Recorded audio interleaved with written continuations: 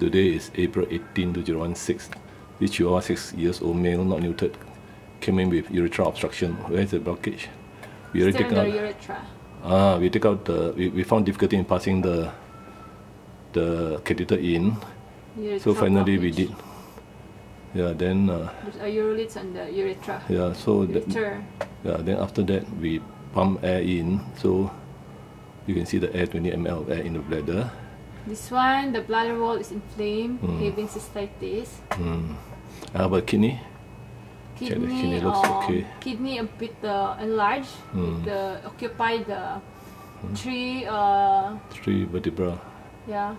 The, the, left kidney, right? Left kidney is not visible, but the right one is. Uh, mm.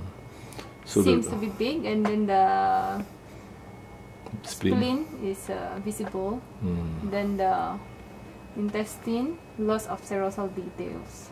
Mm. Okay, okay, ventral dorsal. So you see urethra obstruction, ventral dorsal. What does it show? The bladder, anything? Nothing, so no stone, right? But the the thing is in the urethra, right there. Mm. You can point, point the arrow at the urethra. Urethra further down. No. Cannot see on the. No, got got there. Can go further down. Down, down, down, down, down a bit. There you just try below. Oh, there, uh, uh, there. Did it, just point the arrow there for me to take a photo with. Your arrow, no, your pointer, pointer, go down. Wait, uh, this is not so obvious. Uh. Not so obvious, okay. Then the other side, the other view, lateral view. Or the heart, okay, the heart. See the heart?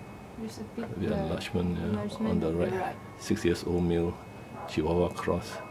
The, the, the, the spleen, okay?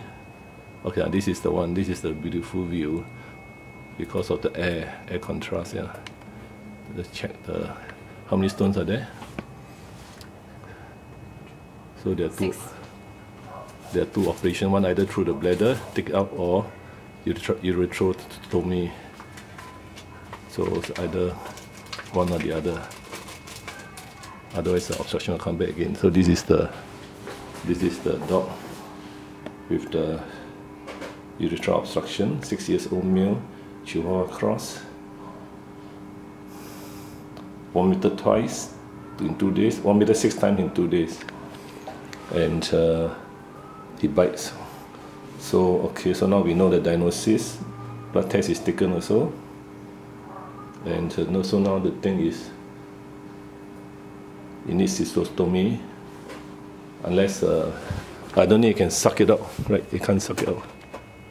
I doubt you can suck it out, yeah. Hmm.